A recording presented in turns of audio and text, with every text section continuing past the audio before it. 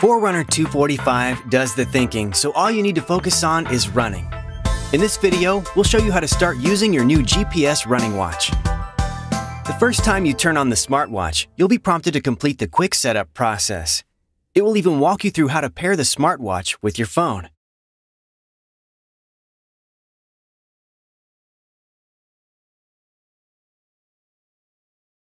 Now, let's take a look at the watch. On the top left is the light key. Press it to activate the backlight, or press and hold to access the controls menu. You can use the controls menu to turn on Do Not Disturb, lock your device, access a basic stopwatch or timer, and perform other functions. Next are the up and down keys. With these keys, you'll navigate through the different menus, data screens, and widgets. For example, from the watch face, press the up or down key to cycle through preloaded widgets, including Performance, Health Stats, My Day, Pulse Ox, and more. On the top right is the Start Stop key. In addition to starting and stopping the timer during your runs, you'll also use this key to make menu selections. Finally, on the bottom right is the Back key. Press it to return to the previous screen.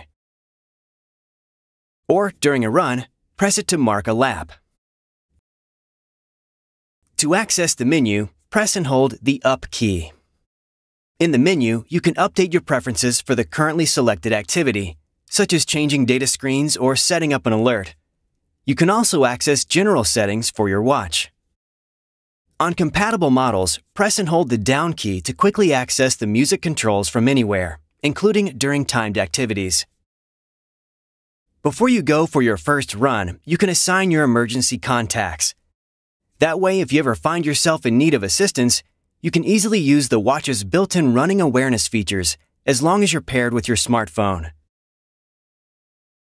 To set your emergency contacts, open the Garmin Connect app and tap More or the menu. Tap Contacts. Then Set up Contacts. Here, Garmin Connect can access the contacts on your phone. Select the ones you'd like to import. Then tap Done. Now return to the menu and select Safety and Tracking. Select Incident Detection and Assistance enter your personal information, then add up to three emergency contacts. Now, if you find yourself in need of assistance, hold the light key until you feel the watch vibrate three times. Your emergency contacts will be notified via text message and email.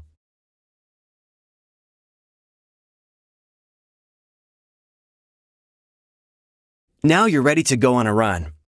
Press the Start key. When GPS is ready, the watch will vibrate and advance to the data screen loop. Then press the Start key again and run. During your run, you can scroll up or down through the data screens to view stats such as distance, time, pace, and more. When your run is over, press Stop. From here, you can either resume the timer or scroll down to save your activity. After you select Save, your watch will show a summary of what you just accomplished. Press the Start Stop key to scroll through your training effect, VO2 max, and recovery time. Or press the down key to see additional details about your activity, such as heart rate and lap summary. Thanks for watching.